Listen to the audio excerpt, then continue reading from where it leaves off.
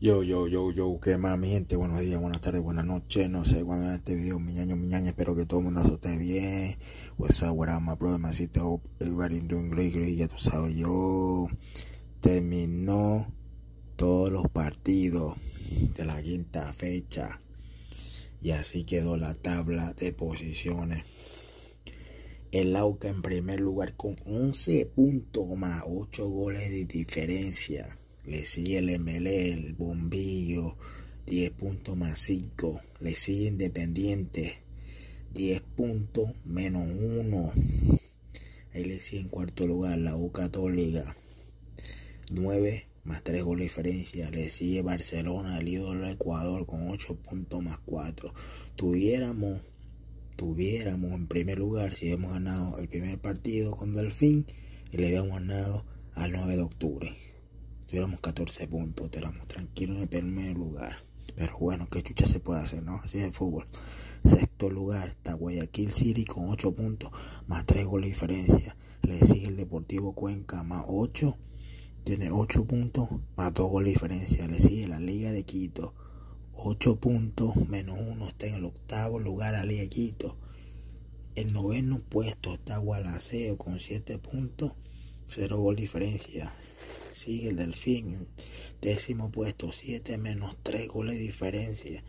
En onceavo puesto, número 11, peleando el descenso también el 9 de octubre, 5 puntos menos 1. En el décimo 2, el puesto 12, está Lorense, 5 puntos menos 11, menos 1. El décimo tercero, Monzorruna, está el número 13, 5 puntos menos 2. Él sigue el Cumbayá, el número puesto 14, en las últimas posiciones. Dos puntos nada más, menos cinco. Wow. El décimo quinto, quinto, quince.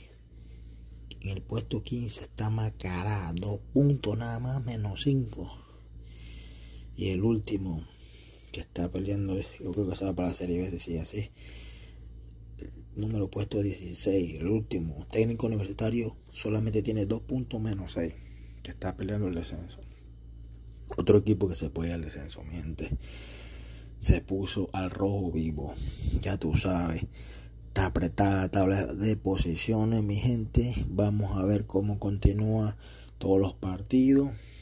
Si el Aucas se va decayendo poco a poco o se recupera.